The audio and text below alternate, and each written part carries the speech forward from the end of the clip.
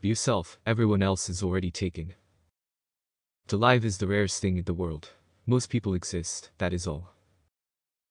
I can resist anything except temptation. The only way to get rid of a temptation is to yield to it. We are all in the gutter, but some of us are looking at the stars. A cynic is a man who knows the price of everything and the value of nothing. I am not young enough to know everything. The truth is rarely pure and never simple. I don't want to go to heaven. None of my friends are there.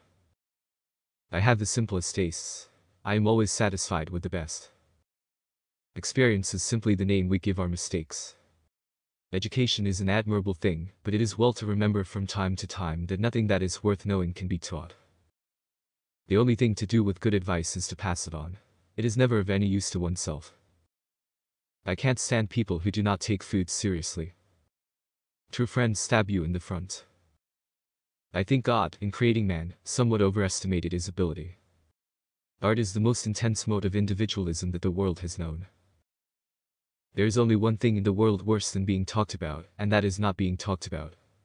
One should always be in love. That is the reason one should never marry.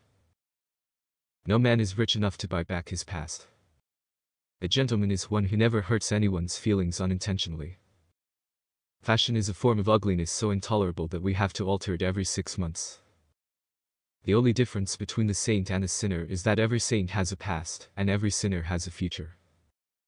I don't say we should abolish all moral distinctions, but we should at least abolish the hypocritical ones. Selfishness is not living as one wishes to live, it is asking others to live as one wishes to live.